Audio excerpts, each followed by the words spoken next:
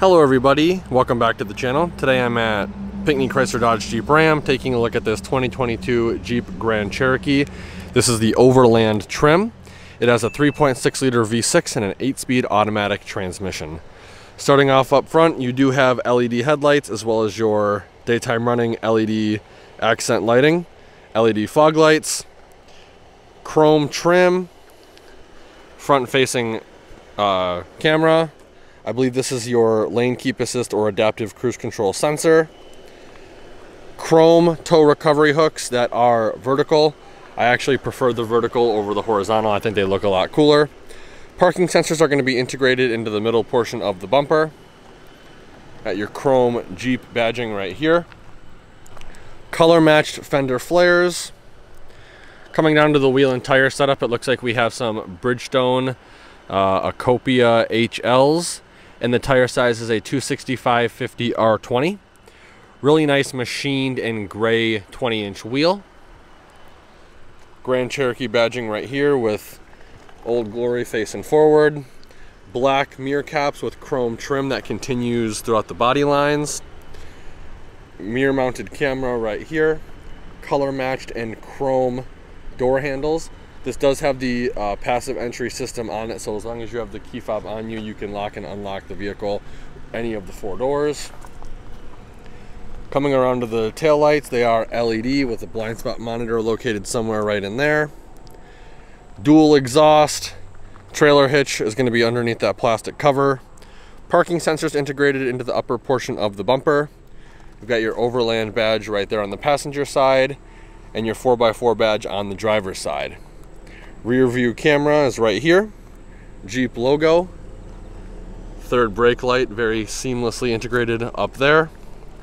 Coming around to the driver's side, we have your capless fuel fill port. Again, very beautiful looking SUV.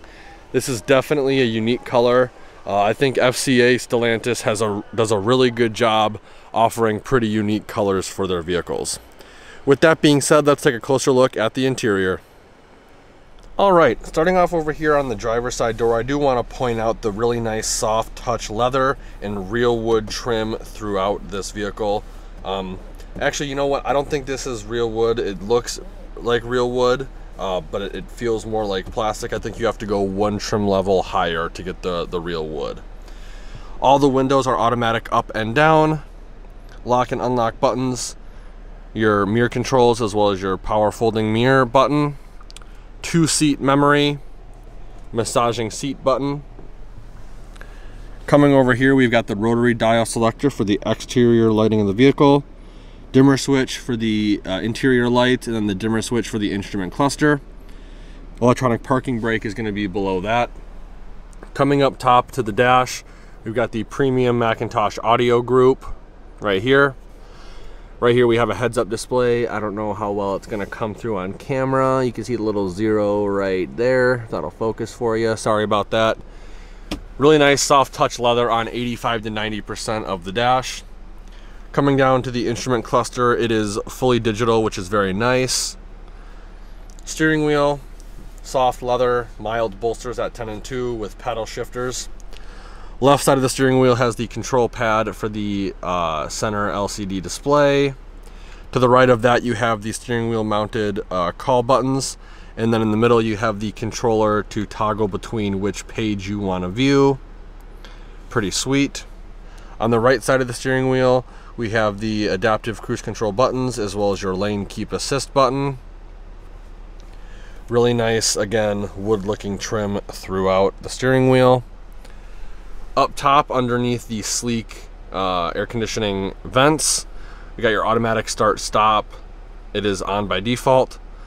Uh, lane keep assist button, traction control off, hazard lights, parking sensors off, and then passenger screen on off button. We'll go over that a little bit more in detail shortly.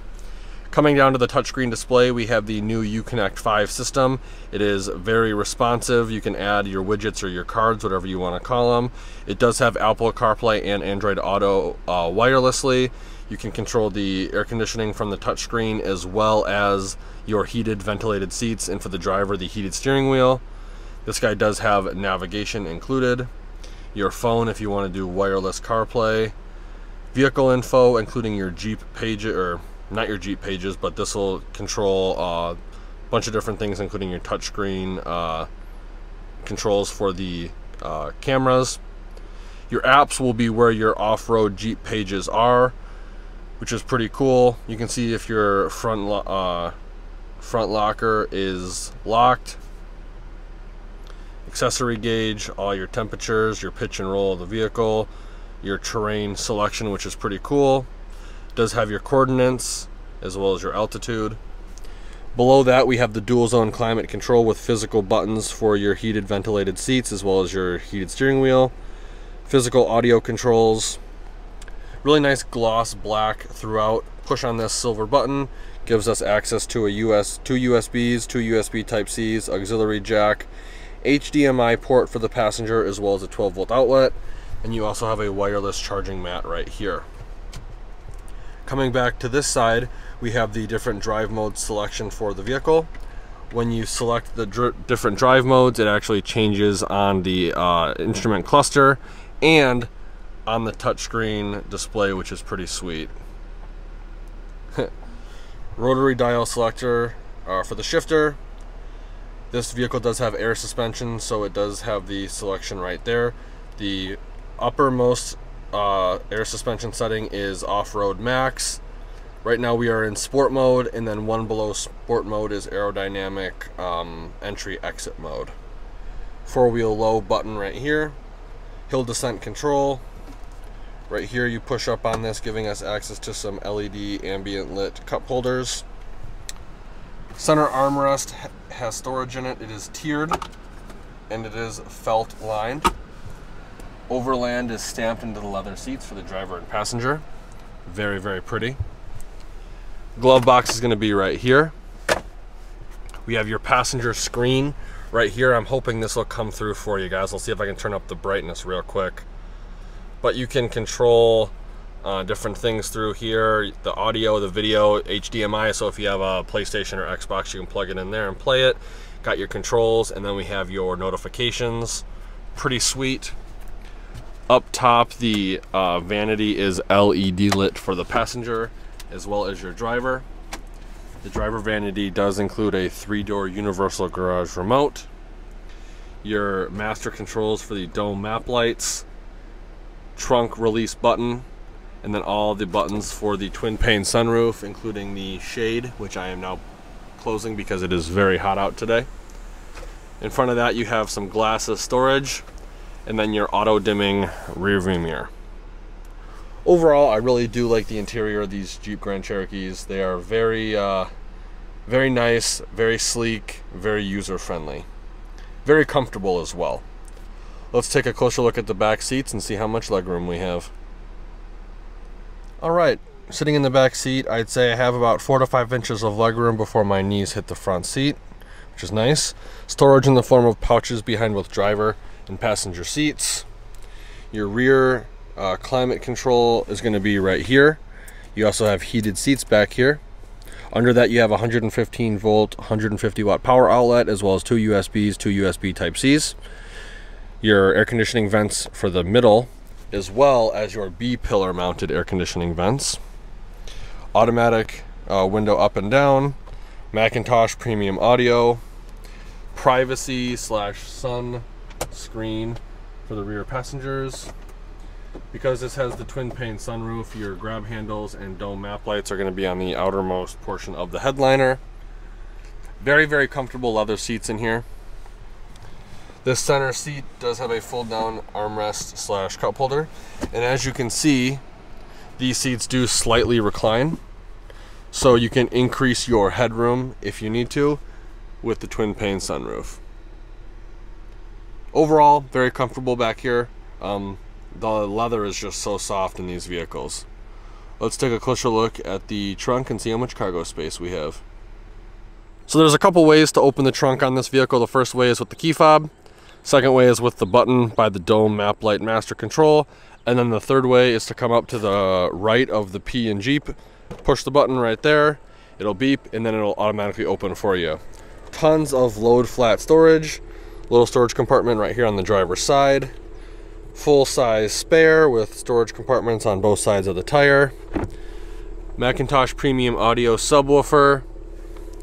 Grocery hanger on the passenger side as well as the driver's side. Driver's side does have a 12 volt outlet. You have four of these little tie down points. So if you got a bungee cord, something back here, you can. Two on each side. Tons and tons of storage back here. You can actually set the height of how tall the lift gate will open. When you're done doing your business back here, you push the button. It'll beep at you a couple times and then it will automatically close for you. I believe there is a button right here to the left of J and Jeep. If you have the key fob in your pocket, I believe that will actually lock or unlock the vehicle. I'm not 100% sure though. Overall, tons of storage. Very, very cool. So here's a window sticker for this vehicle. There is some tint on it, so I'll go over the key features. Again, this is a 2022 Jeep Grand Cherokee Overland 4x4 with a base price of $56,240. Standard equipment's gonna be right here. Optional equipment starts here. Most notably, you have the customer preferred package 22N, which includes the Luxury Tech Group 4B for $1,895, Advanced Pro Tech Group 3 for $2,235, as well as some miscellaneous packages for a total price of $65,590. Fuel economy rating is going to be right here. This vehicle is rated at 19 miles per gallon city, 26 miles per gallon highway for a combined fuel economy rating of 22 miles per gallon. I'd like to give Pinckney Chrysler Dodge Jeep Ram a huge thank you and shout out for allowing me to come to their lot and do a video walkthrough of this vehicle. If you're interested in this vehicle or any of the Stellantis FCA lineup, I will be posting all the contact info in the description below. Be sure to let Andrew know you saw the YouTube video and he'll be more than happy to go over all the discounts, rebates, and incentives you qualify for. If you enjoyed the video, please consider giving me a like and share. And if you want to keep up to date on more vehicle walkthroughs, please consider subscribing to the YouTube channel. And be sure to check out the video description below for all the affiliate links. Like always, thanks for watching and have a great day.